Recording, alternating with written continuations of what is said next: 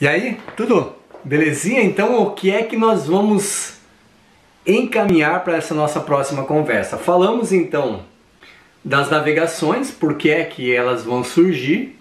Falamos do mapa TO, a investida aí de Cristóvão Colombo até as Américas, e agora nós temos uma conversa bem importante que é portugueses e espanhóis. Os espanhóis viajaram até a América e os portugueses sabem disso. A conversa, as informações não é como hoje no WhatsApp, mas a informação vaza. Os portugueses sabiam que Cristóvão Colombo havia feito uma viagem pelo Oceano Atlântico. Sabiam, ué. Não tem como esconder. Inclusive, numa das viagens de Cristóvão Colombo, quando ele volta, aí ele é acometido por uma tempestade e tal, ele voltando de viagem, ele é obrigado a parar em Portugal. Olha só, cara vindo da viagem, financiada pelos espanhóis, rei da Espanha, rainha da Espanha, e ele tem que parar em Portugal porque está com uns problemas na caravela lá e tal. E aí os portugueses vão saber, claro que vão. E aí vai começar o quê? Então uma disputa entre quem vai e quem vem, quem vai tomar posse dessas terras além mar. Esse é o grande negócio. E aí nós vamos para um problemão que é complicadíssimo. Um esqueminha chamado Tratado de Tordesilhas. Olha no mapa aí.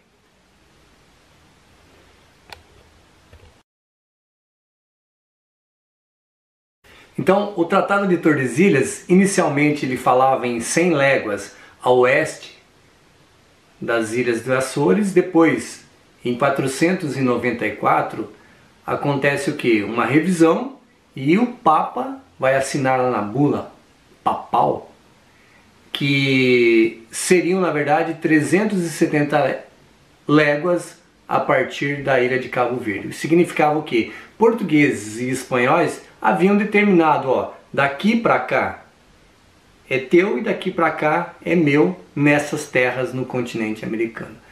Se fosse só isso, não tinha problema nenhum.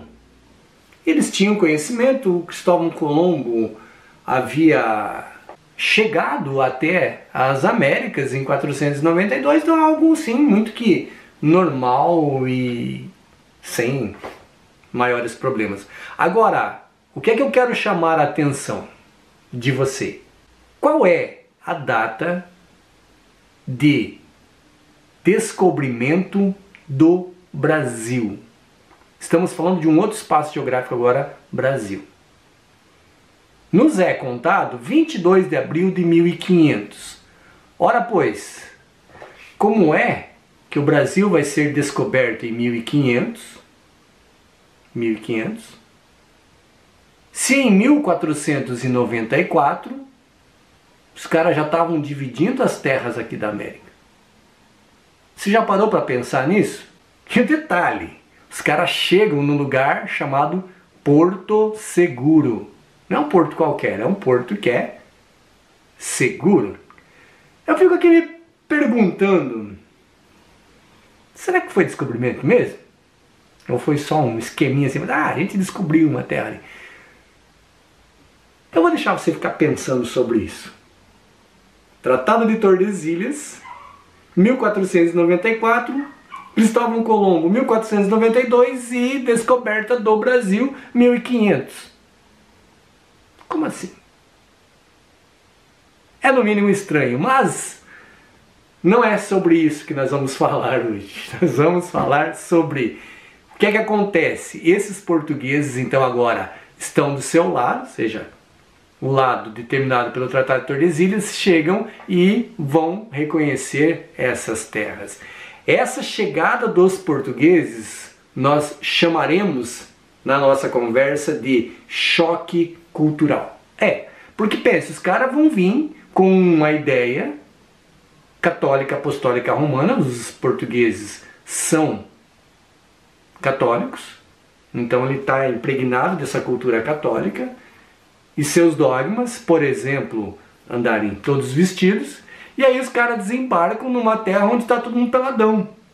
Há ou não há um choque cultural? Claro que há. O cara vai falar assim, meu, você está pelado. O índio vai falar, hey, você está vestido?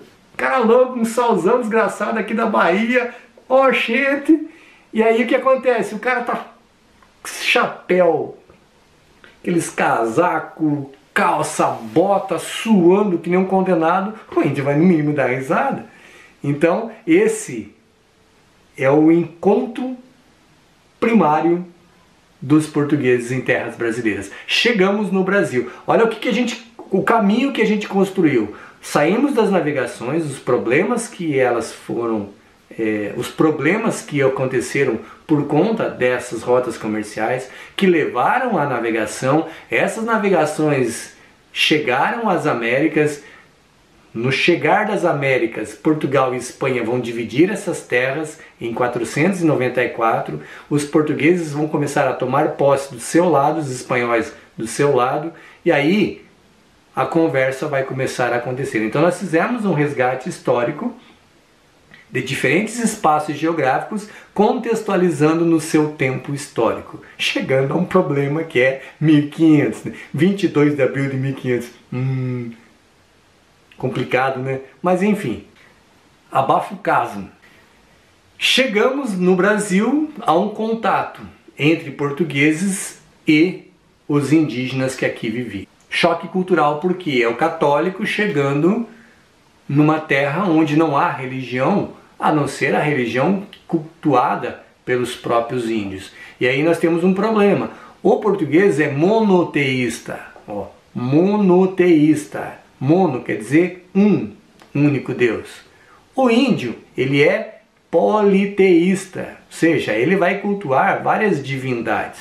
O sol, a lua, a mata, enfim, vamos ter aí várias considerações a respeito dessa religiosidade. Um vai querer se sobrepor ao outro e esse é o grande problema a ser enfrentado. Legal? Então, saímos da Europa, espaço geográfico, Período histórico, tempo, virada do século, ou seja, passamos 1500, entramos agora 1501, 2, 3, 4, 5 e aí vamos lá, e nós vamos ter um reconhecimento e uma ocupação dessas terras. Portugueses de um lado, Espanha de outro lado. Beleza? Nos vemos na próxima conversa, tranquilo?